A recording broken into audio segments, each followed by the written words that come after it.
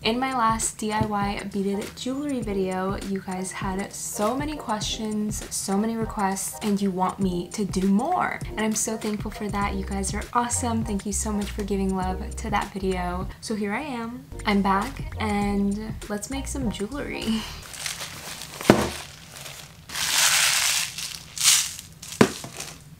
You're making too much noise. If you guys didn't see the last video, I got this kit off of Amazon. I'll make sure to link it down below for you guys. I'm pretty sure they're three millimeter beads. And then the kit is so cute because it comes with cute little tweezers as well as cute little tiny scissors. It does come with lettered beads, but I'm not gonna be using those. And then they also do come with black and white elastic string. A lot of you guys were asking if mine was elastic and this kit did come with elastic string. And last but not least, they actually came with some jump rings and some clasps. And I know a lot of you guys had some questions on how to tie it, so I'll be teaching you that today. Also, I have a bunch of different kinds of beads from like Michael's or the dollar store. I literally have these pearl beads from like the Dollar Tree. And then these are also from the Dollar Tree. They are colored square letters. So I have all of my materials here. Let's go ahead and get started.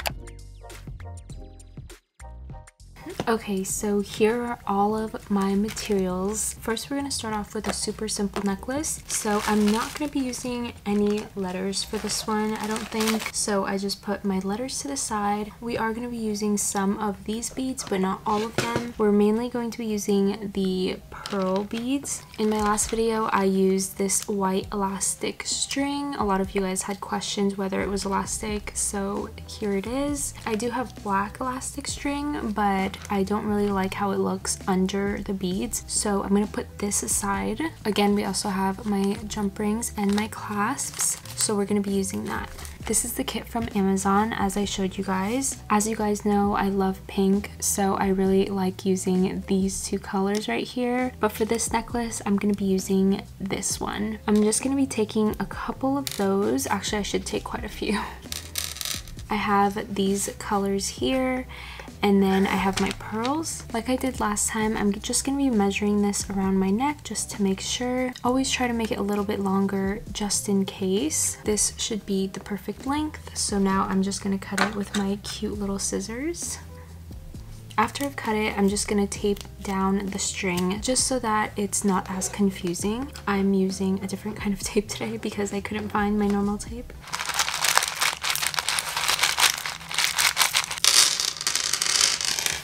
For this necklace, we are going to be going back and forth with the pearl and these cute coral beads. So first, I think I should go with the coral just because the clasp and the jump ring will be right here just so that it'll give it a nice look and not have it so big, if that makes sense. So now we're going to go with the pearl. I don't know if I should do double pearl and then the coral. Let's see. So when you're making these beaded necklaces, beaded jewelry, honestly just experiment and see what you like. Sometimes I feel like I have a method and then sometimes I don't. So right now I think I got my method down. It's gonna be two pearls in between one coral bead. I'm just gonna be repeating myself.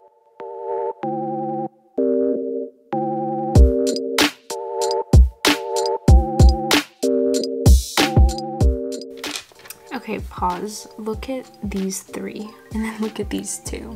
I wonder if I can break them. I don't know if that's a good idea, actually. I probably can't do that. No, that's a no.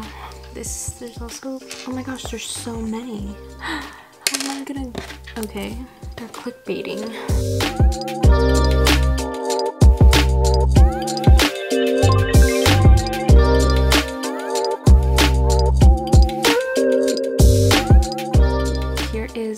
First necklace. I think it's so adorable. It's simple. I love it. You see how I started off with the smaller bead and then I also ended with the smaller bead. So kind of just being cohesive and making sure everything looks good. So I'm thinking silver might actually look good with this. So I'm gonna grab a silver jump ring and a silver clasp.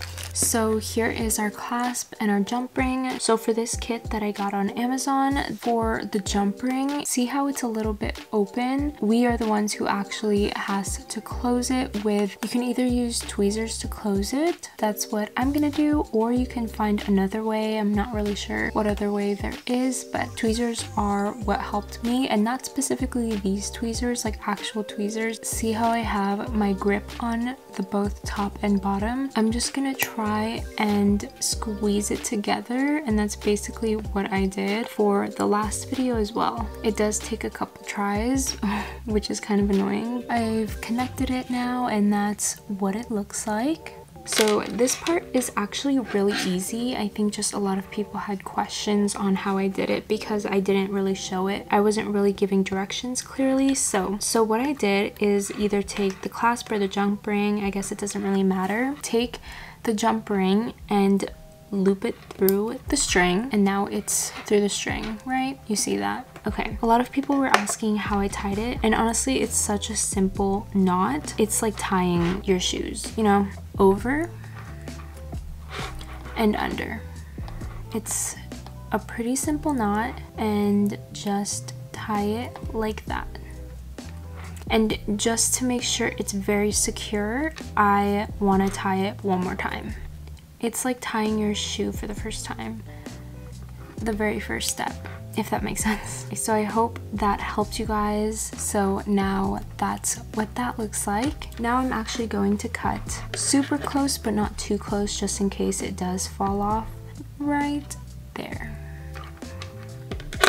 And then there is your jump ring. Okay, so now that the jump ring is connected, I'm gonna take out the tape here that's holding everything together and making sure it's super, super tight and just like kind of pulling on the string. And so now it's pretty secure in there. For this part, you take the clasp and it's basically the same thing. For the clasp, I'm sure you guys can see there's like a little loop through here. That's where I put the string through.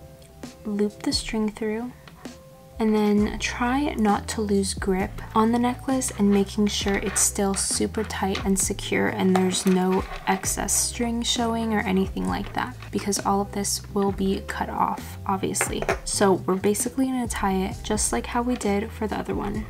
Secure it and that's what it should look like. So basically I'm just making sure that these beads are as tight as possible so that the string is not showing. You can tie it again for the third time just to be sure. There you go. I really hope that made a lot of sense for you guys. So now we're just gonna cut it. Again, not too far and not too close, but just right there.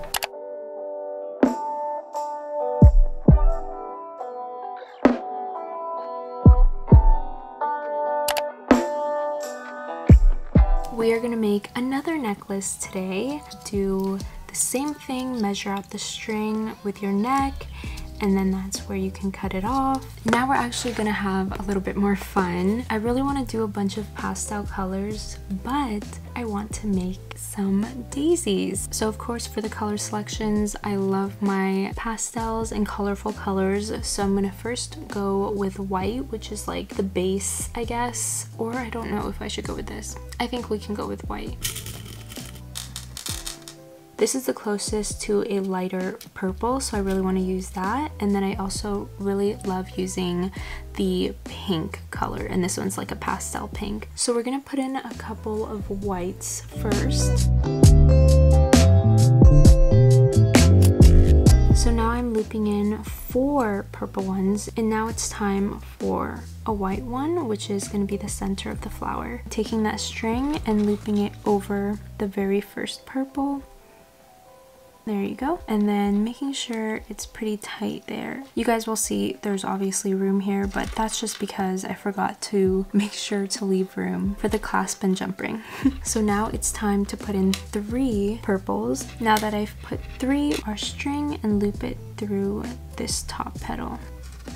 And then there is our flower. I'm doing about five whites. And then after this white, we will do a pink flower. Again, looking for about the same kind of beads just so it doesn't look wonky. Okay, so we're gonna put in more whites this time. Let's try, I don't know if 10 might be too much, so we can try. Okay, now we put in the pink. Okay, now I'm gonna put in a white for the center and that's what it should look like. And again, looping this string on the very first pink. When it comes to making these flowers, you have to make sure that your beads are super, super tight together. So make sure that the pink is super close to the bead next to it. I've now put in the three beads. Now we're gonna take the very top and loop it through here. And then there is our flower. These two are so cute.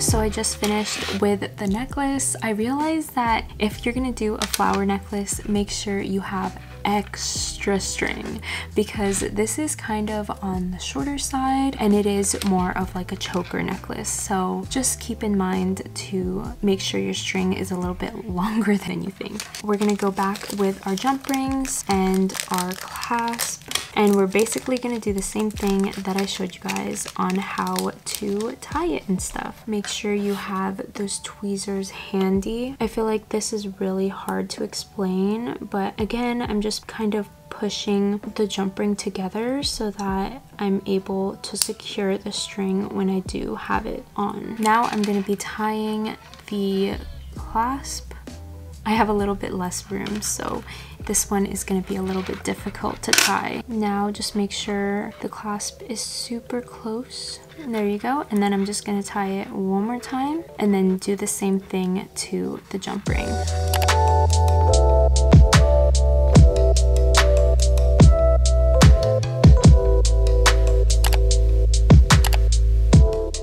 Guys, so last but not least, we're actually going to be making, just like what I did in my last video, we're going to make a phone charm. For this one, it's just going to be all flowers and we can add some letters. I'm going to be choosing a bunch of colors for this one just so it's fun. Let's start off with just a simple color and I know for a phone charm, it's probably not the best idea to have it stretchy, but that is what I have.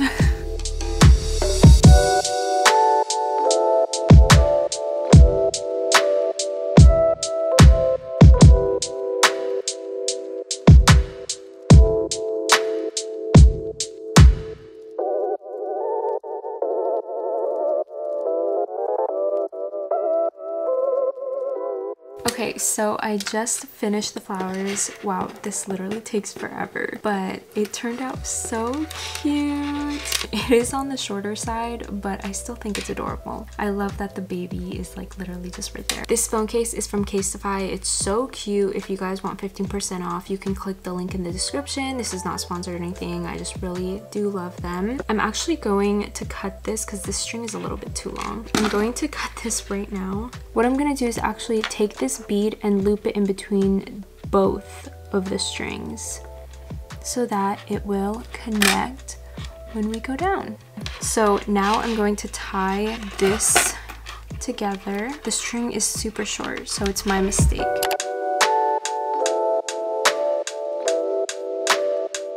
So we ended up making two necklaces today. I'm wearing one of them right now. And then we have the flower one. And then we have the phone charm.